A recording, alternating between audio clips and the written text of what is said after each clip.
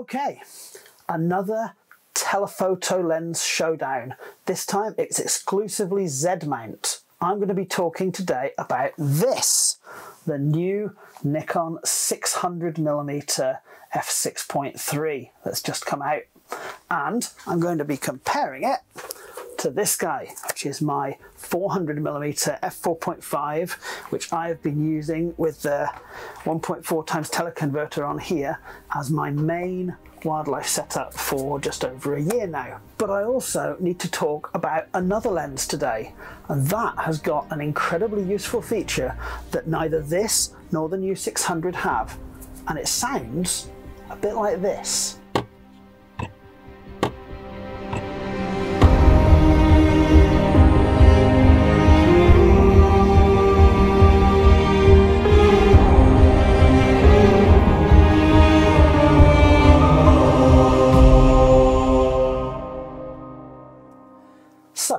A backstory.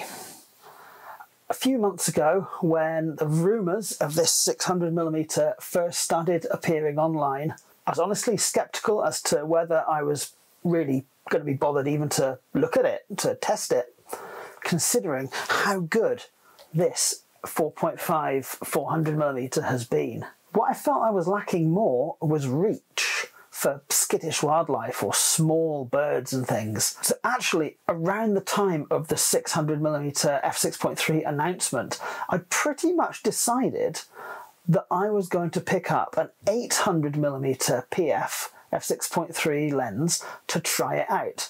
And in fact, I had gone ahead and ordered one, a second-hand one, online. And that was the very night before the 600mm f6.3 was announced. But in the early hours of the next morning, when I was awake because my daughter had been awake for a little bit, I'd come down, settled her, and I was sitting up awake, sitting in bed. I started looking at the early release information, the announcement information on this 600mm f6.3. And I thought, bloody hell, I'm best trying that out. I want to see what that's like.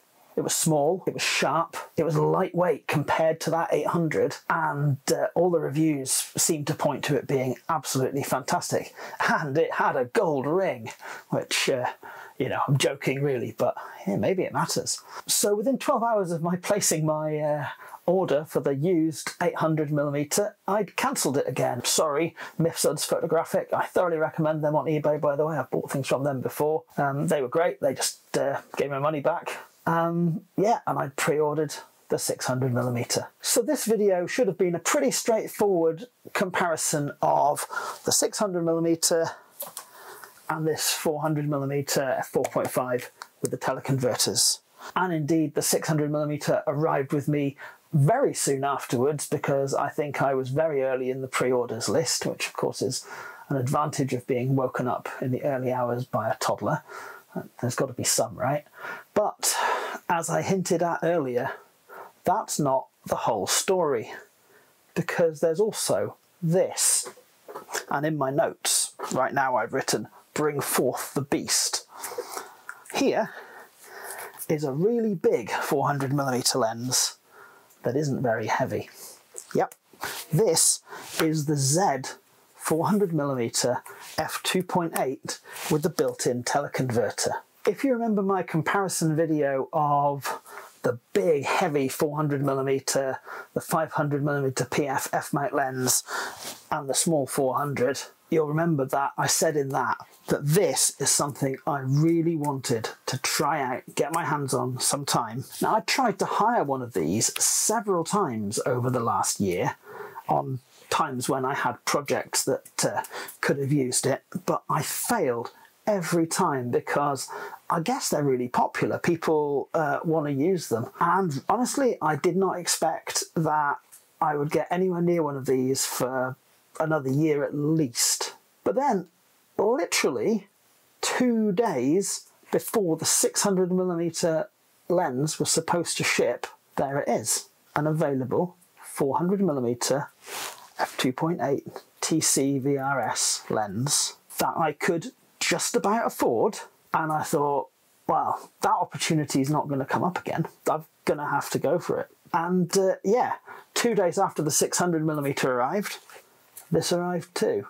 So now it's going to be a bit more of a, a wider comparison between the three lenses, the two 400s and the new 600mm, with and without teleconverters, be it internal or external. And at the end of it all, I'll tell you which ones I'm keeping and why, because I sure as heck can't keep all of them. I can't afford that. So let's start by talking about the 600mm lens. It's not here, but if I hold up my 400 4.5 as a prop, I can tell you that the 600 is a little bit fatter along the body, but it came to the same at the end. In fact, the lens hoods are interchangeable, they're the same part number. The feet are also interchangeable, which is nice, so I was able to put Arca foot on it straight away, which is always good. And in terms of length, it's about 28 centimetres, excluding the hood, which is not far off the same as this guy with a teleconverter plus a little bit. It's a little bit longer.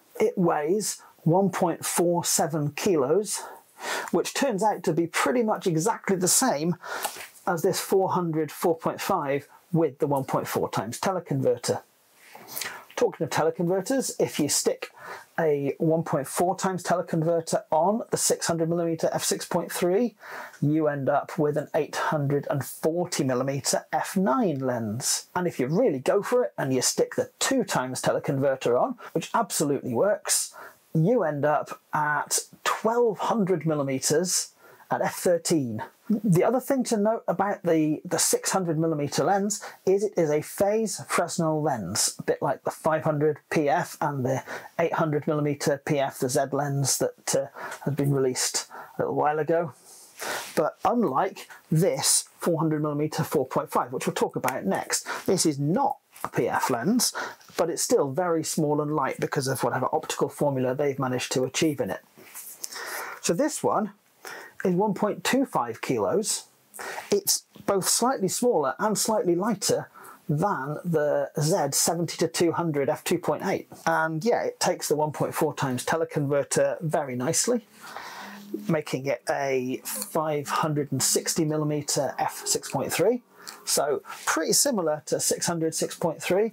That's in terms of uh, the reach and the aperture at least. And yet you can also stick a two times teleconverter on it. And then you end up at f9 and 800 millimeters.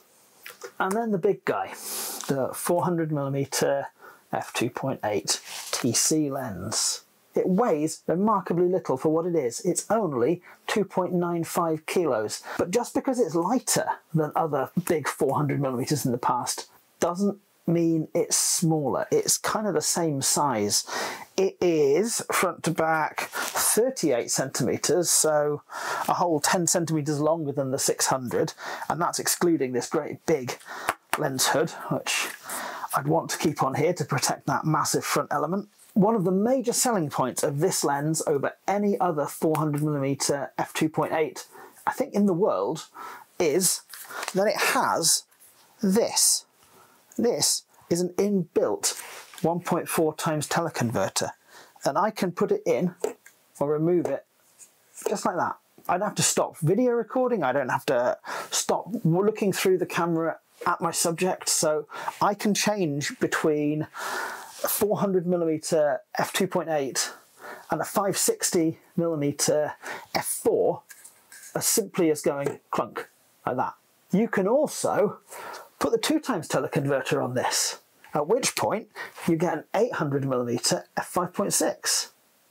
And with the 800 millimeter f5.6, with that two times on there, you can still engage the internal uh, teleconverter as well. So then you're stacking teleconverters and you get to a whopping 1120 millimeters and it's still only a f8 which is a perfectly workable aperture. I should just say about the teleconverter that's in here, it is part of the lens so the quality you get out of the internal teleconverter should far surpass what you would get by putting an external 1.4 times. And let's face it, the Z teleconverters are already pretty darn good.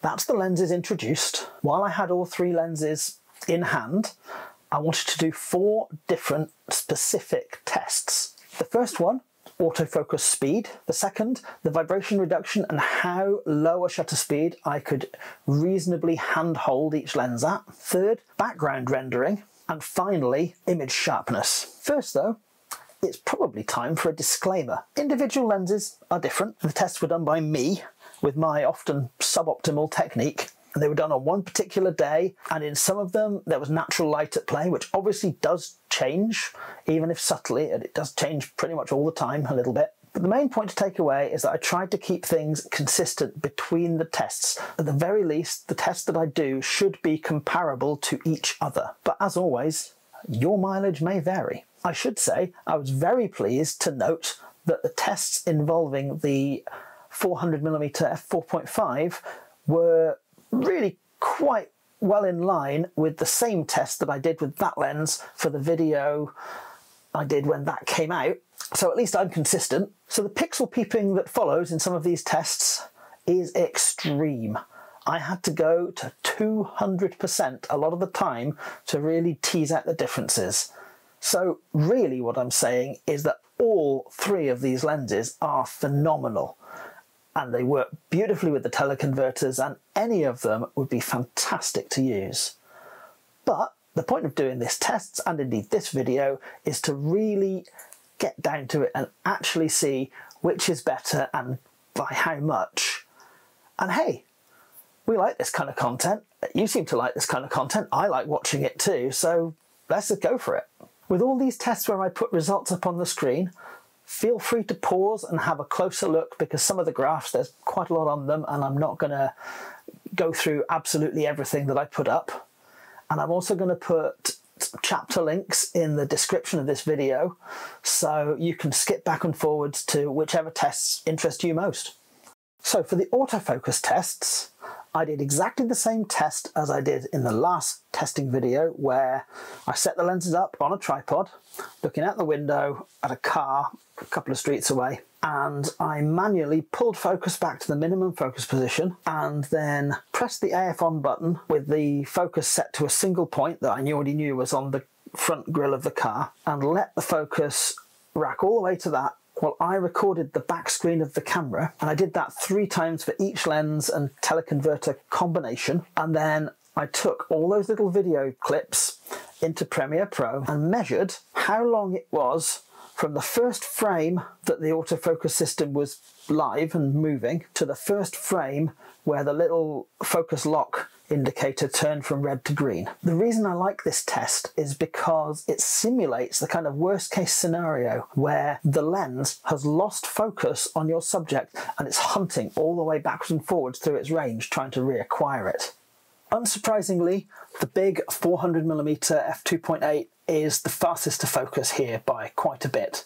And next is the new 600mm f6.3. The new 600 is about 7% faster to focus throughout that whole range than the 400mm f4.5 while the big 400 is about 20% faster. Once you engage the teleconverter on the big 400mm, then the speed is about the same as the 400mm f4.5 with no teleconverters, so still really pretty fast. The 400mm f4.5 only loses about 7% of its focusing speed when you put the 1.4 times teleconverter on it, which is pretty impressive actually. While the 600mm suffers a bit more when you put the teleconverter on and its autofocusing speed is literally half what it was before putting on the 1.4 times teleconverter and in fact that combination is now considerably slower than the 400mm f4.5 with the 1.4 times teleconverter. Adding the 2 times teleconverter slows things down quite a lot with the 400mm f4.5 being around 3 times slower to focus and the 600 being about 4 times slower to focus respectively. Adding a 2 times teleconverter to the big 400mm f2.8 approximately doubles its focusing time, but that is still faster than the 600mm f6.3 with the 1.4 times and considerably faster than either of the small primes with the 2 times. If I put the 2 times and the internal 1.4 times on the big 400, that finally brings the monster to its knees and it's really slow. Locking focus takes about 6.5 times longer than the bare lens, but it does focus and it would be usable. just probably not on moving subjects. Next, I wanted to test the vibration reduction system. The way I did this was the same as last time. There's a lovely painted slate on the shed outside that Jess painted, and I stood a fixed distance away from that with each lens, and I took bursts of photos handheld at successively slower and slower shutter speeds. And then I brought them all into Lightroom and I counted through them to see what percentage of them were acceptably sharp. Now, of course, that's subjective but it does give a way of comparing the different lenses and uh, the different shutter speeds. I grouped the results into brackets by focal length. So I compared the two 400 millimeters lenses at 400 millimeters, and then the two 400s with their 1.4 times converters versus the 600, and then the 600 with a 1.4 to be 840, and the two 400s with their two times to be 800 millimeters. I'll put the graphs up on the screen now while I talk through them. And uh, of course, as I said before, feel free to pause and look at the numbers more closely eh, at any point you want to. For the two 400mm lenses, I was able to get sharp images down to a hundredth of a second. No problem at all. After which, there was a slight drop off with the smaller 400mm f4.5 being predictably a little easier to handhold because it's so much smaller and so much lighter. That said, I was still getting 10% of images sharp hand holding the big 400mm f2.8 at a tenth of a second at 560 millimeters and 600 millimeters respectively.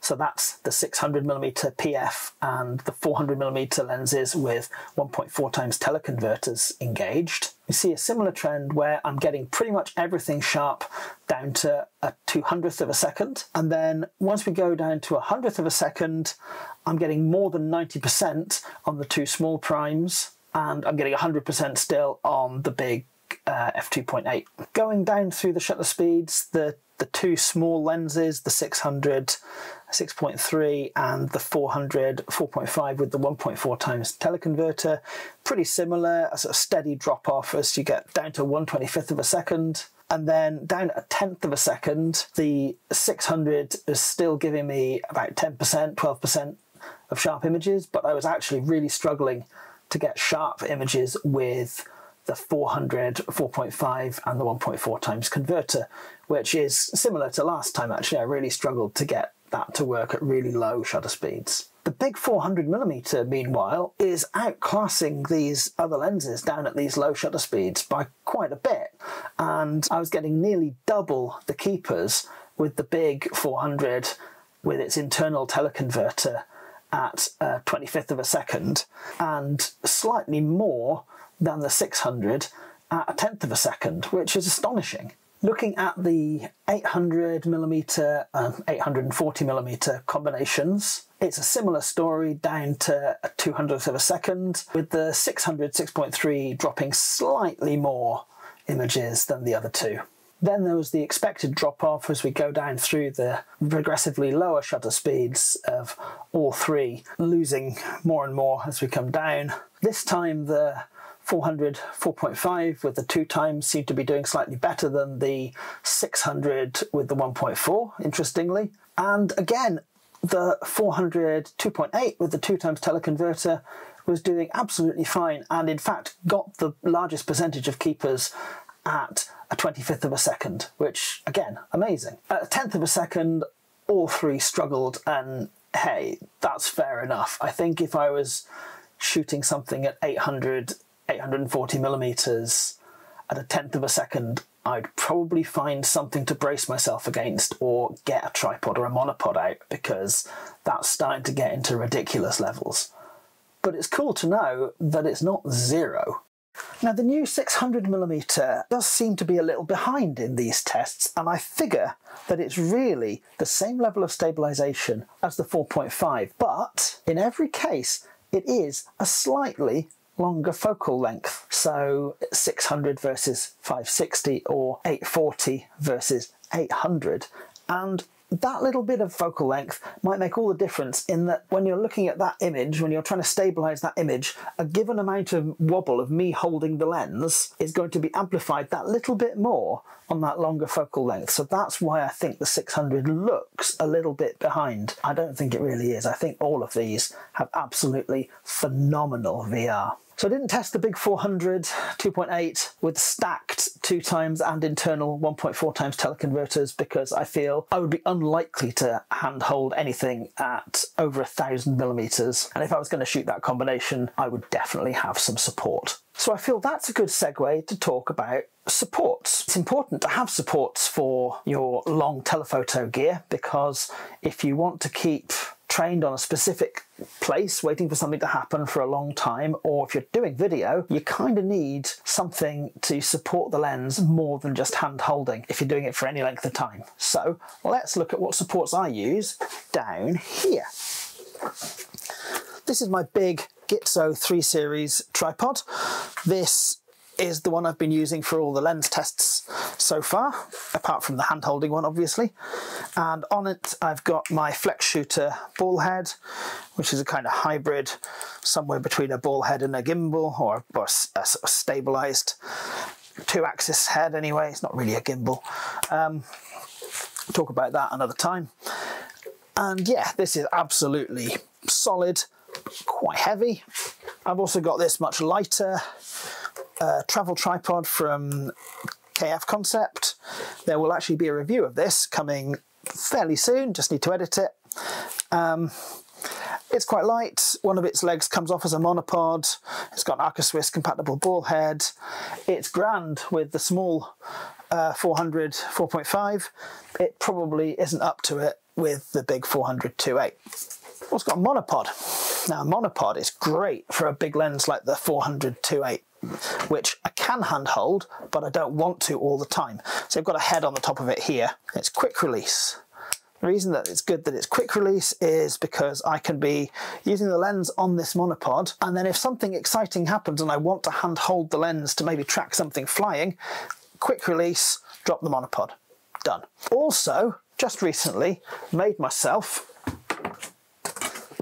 a ground pod for getting really low to the ground. It's got a a little clip on here and I can put the same, I can take the head off my monopod and I can put it on this ground pod. So I can use that. Haven't tried it yet, but I'm kind of looking forward to doing so soon. And finally, a bean bag. Great for putting on, like uh, shooting out the window of the car. Put it on the on the door like that with the window open, or just on the ground like that in a hide. You can even put it that way up and sort of nestle the lens in that V shape. Very versatile bit of kit. Um, so yeah, all different options for supporting the lens if I'm not hand holding it. Now, back to the main content of this video. So for testing the background rendering and background blurring on these lenses, um, my daughter selected her squirrel toy to be the subject for it. So we put him up in a tree in the garden where there was a really nice leafy, busy background behind to really test how these lenses control a busy, annoying background. And you can see here, that is quite busy around there around the back. The light was fairly poor by the time I did this, so there is some noise in the images, but Please ignore that. These are not processed in any way. Didn't want to uh, influence it by processing. And we should be able to look at the background rendering without really bothering too much about that noise. So let's look at the 400mm options first. It's pretty clear that there is more background distraction in the image from the 400mm f4.5 compared to the f2.8, which absolutely obliterates the background. That's why you have an f2.8 lens after all. What's interesting though is that when you set the big 400mm to 4.5 as well, it still renders the background a little better than the 400mm f4.5 especially if you look towards the edges of the image. Stopping both lenses down to f8, the backgrounds become pretty much indistinguishable. Comparing the 560mm and 600mm options, at f4, the, the big 400mm with its inbuilt 1.4 times teleconverter predictably has the best background rendering. Once it's stopped down to 6.3, it's still a touch nicer than the 4.5 with the 1.4 times teleconverter, but at this point it's marginal. And the 600mm PF is a little nicer than the 400 4.5 with the teleconverter, probably on a par with the big 400 plus its teleconverter. As before, if you stop them down a lot more, take them all to f8, f9, f11, then the differences become marginal to the point of being irrelevant. At 800 millimeters, there's a similar story. The 400 millimeter 2.8 with the 2 times teleconverter is 5.6, whereas the other two are at f9 here, and it's quite clear that the big 400 has the better background rendering. This is not a surprise. Stop down to the equivalent f9, it's now very similar to the 600 millimeter with the 1.4 times. They are pretty similar, and unfortunately, the quality of the 400 millimeter f4.5 with the 2 times converter is a little bit behind. So now to the real pixel peeping, the image sharpness tests. And as I said before, in order to really see anything worth seeing here, I had to go to 200% because these lenses are all phenomenally sharp. So to test the image sharpness, I used a printed map.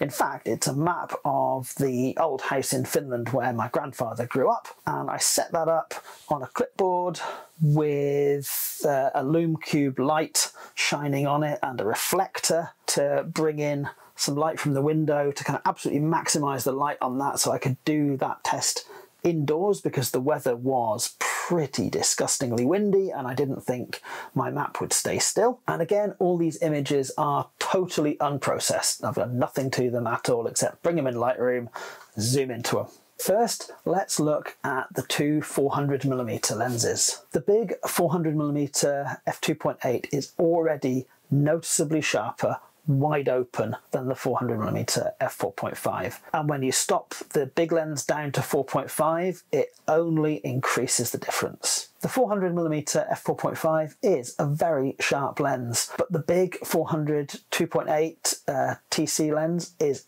in a different league. It's absolutely phenomenal. It's a different class of lens. At f5.6, the gap closes a little, and by the time they're both stopped down to f6.3, they're pretty much the same.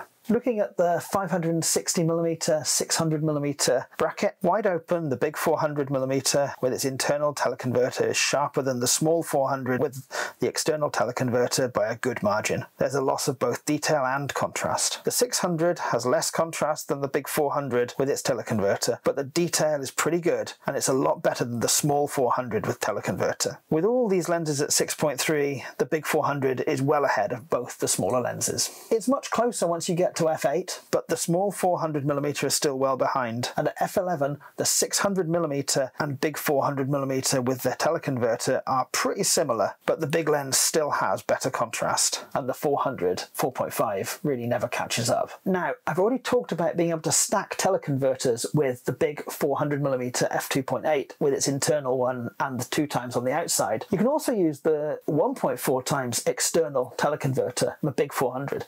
So I wondered just how much better is that internal teleconverter? Comparing the internal teleconverter of the 400mm f2.8 with the external 1.4 times Z teleconverter, it's definitely a little sharper and with better contrast using the internal converter when looking at the image 200%.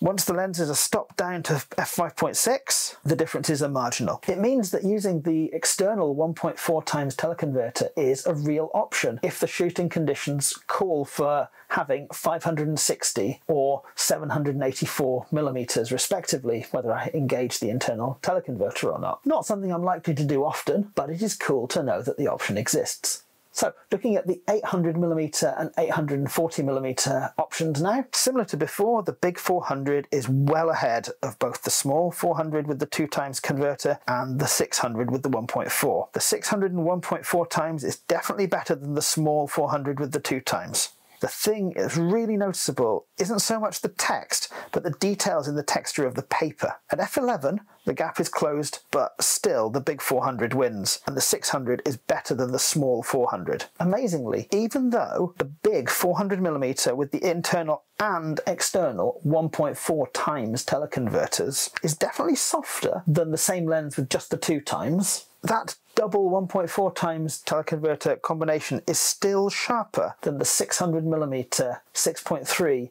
with the 1.4 times teleconverter on it, which is astonishing. So looking at the really big focal lengths now, the 1120 millimeters or 1200 millimeters for the 600 with the two times converter. Again, the big 400, even with the two times teleconverter and the internal 1.4, is still sharper and more contrasty than the 600 with the two times. But that gap is starting to close at these extreme focal lengths. But what you've got to remember is that that's with the big prime at f8, while the 600 6.3 with the two times converter wide open is f13. So, what are my conclusions? The new 600mm is fantastic. It's very nice to use and the ergonomics are great. It felt really good shooting with it on the Z9. It felt really nice to track subjects and the autofocus felt really fast and of course the tests have shown that it is really fast. I actually liked the fact that it felt sort of a bit more substantial in the hand than my 400mm f4.5. Compared to Big 400 2.8, the 600 stands up surprisingly well to it. It's only a hair behind in terms of image quality. Of course, it lets in less light and its autofocus isn't quite that fast, but it's still really a very, very impressive offering when it was first released, there was a lot of people sort of bickering a little bit that it was f6.3 rather than f5.6, like the uh, 500mm PF lens, the F mount lens, for which it is a natural replacement. I really don't think that that difference of a third of a stop is going to stand up to the fact that it has 100 millimeters more reach, its autofocus is faster based on how it compared to the 400 uh, 4.5 and the test that I did with that lens versus the 500 PF, I can tell you the 600mm is sharper. So I feel overall it is a very worthy successor to the 500mm PF. I don't see the 600mm 6.3 being as popular as that. It is quite expensive. There are already other lightweight telephoto options for the Z mount, and of course there are the F mount lenses that convert absolutely beautifully. You can pick up a 500 PF with with uh, FTZ adapter for half the price of the 600. So yeah, the 400mm 2.8, it really is amazing. The rendering is beautiful, the autofocus is lightning fast, and it's surprisingly hand-holdable, even down to low shutter speeds, as we've demonstrated.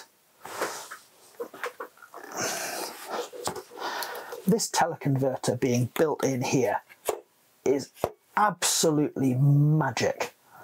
The ability to swap from 400 to 560 in the field in any weather instantly absolutely fantastic. Imagine taking photos of a bird sitting on a perch. You might engage the teleconverter to get nice and close in. Bird takes off.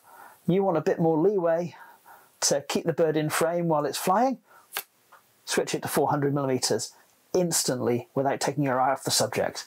That's what that's for, and it's it's great. I've not I've only been using it for a couple of weeks, but I'm very sold on that feature. The lens also has another function that the other two don't have, and that's this extra function ring here. That kind of, it's sort of spring loaded and it can move a tiny bit clockwise or tiny bit counterclockwise, and then it pings back into place.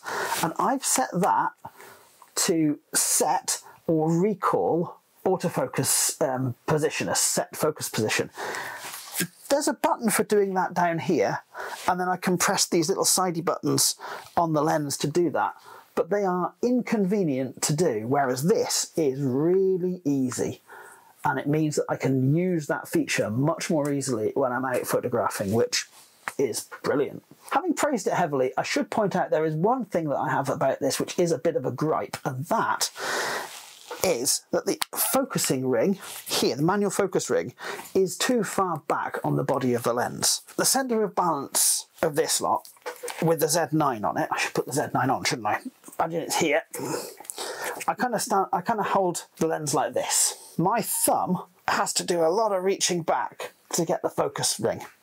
If it was right here, or if I could use the extra whatever whatever Nikon call this extra function ring that I've just hidden under the neoprene there because I don't use it. If I could use that as a focus ring, that'd be great. Problem solved. Or if the focus ring was further forward, that'd be great too.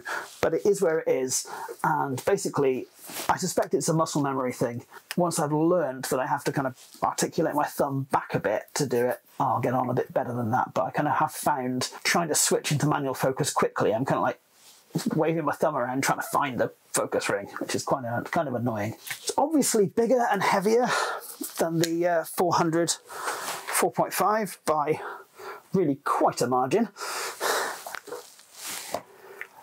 But it is a lot lighter than the great big 400 2.8G VR lens, the f-mount lens that I had before, that was just unmanageably heavy. This is the same as my old 300 2.8, which I could definitely handhold and walk around with for a day. I carried it up mountains to go look for the mountain hares and things, and it was absolutely fine. So I feel that this is going to be much more manageable than uh, than that old big 400, which I just had to get rid of because I couldn't I just couldn't really use it. Finally, even used or heavily discounted, this is still an eye-wateringly expensive lens but in the few weeks I've had to play with it and try it out, can kind of understand why.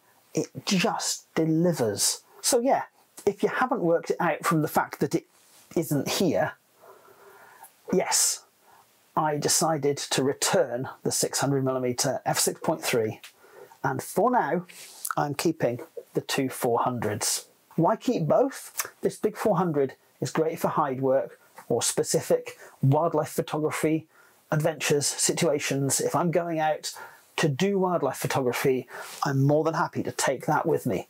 It even fits in my Gitzo adventure backpack with the hood turned round, but with the body on it, just. If it was a centimetre longer, it would not fit in my rucksack and I would have been a bit sad, but it just about gets in there, which is great. But I also need a walkabout, casual, carry around lens for if I'm just going somewhere for a walk and I think there might be wildlife, or I'm going somewhere with the family, it's not going to be appropriate to lug that thing around with me. So I need something small and light like this. And I've been using this with a teleconverter as my main wildlife setup for over a year now, and it's really delivered. It's absolutely phenomenal little bit of kit. So while with its with the 1.4 times teleconverter, when we're talking in the 560, 600 um, sphere, this is the weakest lens of the three that I've tested here today. It is still an absolutely phenomenal bit of kit, and I've got no problem going out for a day and using this. There's, I've got so many good images from it. I mean, in the ideal world, I might have kept the 600 6.3, but this big guy cost me all of my available budget for now and sometime into the future. So given that the 600mm is also a really rather expensive lens and the used value that I could get for this is well less than half of it, there wasn't really the option to keep the 600. Anyway, as I said before, all of these lenses in this video are absolutely phenomenal. I feel incredibly privileged to be able to shoot with any of them. Right, so that brings us to the end of the video. I hope it's been useful to you. If it has, please like it, leave a comment, tell me what you think. Tell me if you've tried some of these combinations out, what you think of them. Um, if you enjoy the content or you would like to see some future videos where I go out in the field and take wildlife photos with these guys, then please subscribe if you haven't done so already. And yeah, I'm going to finish the video by tagging on a bunch of images and video footage taken with the three lenses compared here today with various teleconverter combinations. And yeah, I will see you on the next video. Thanks very much for watching. Goodbye.